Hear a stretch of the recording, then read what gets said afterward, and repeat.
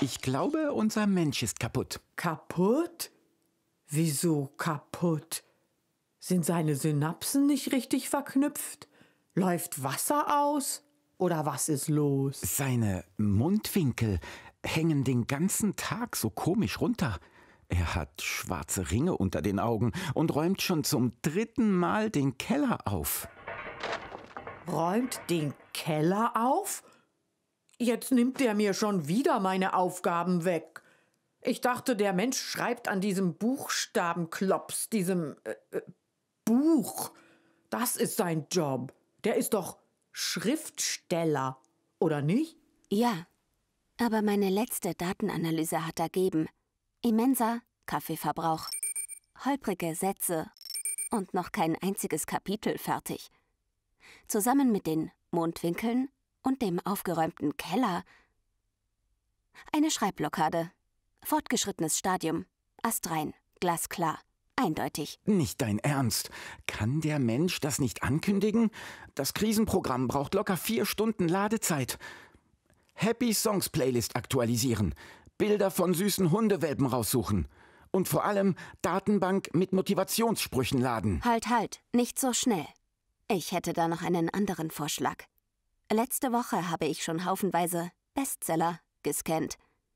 Und dann war da noch dieses KI-Kreativ-Schreibseminar. Sätze nicht länger als 13 Wörter. Erster Kuss nicht vor Kapitel 3. Also, ich könnte ja. Was redest du denn da? Hast du noch alle Platinen beisammen?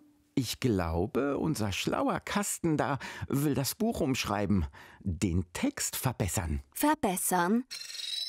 Ich schreibe das selbst. 300 Seiten, fünf Charaktere, ein Haufen Probleme. Und am Ende ist alles gut. Ich habe schon mal angefangen.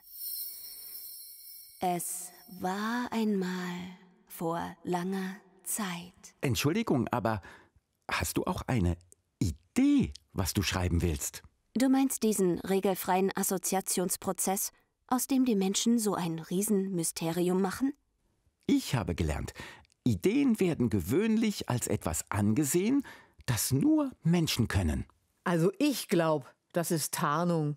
Die wissen einfach nicht, was in ihren Köpfen vorgeht und wollen lieber Unmengen Kaffee, schlaflose Nächte, also diese Schreibblockade. Ich wette, ich kann das auch.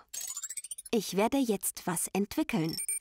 Eine Story, die Sie noch nie gehört haben. Wozu habe ich denn diese neuronalen Netze, wenn nicht zum wilden Kombinieren? Meinetwegen, leg los.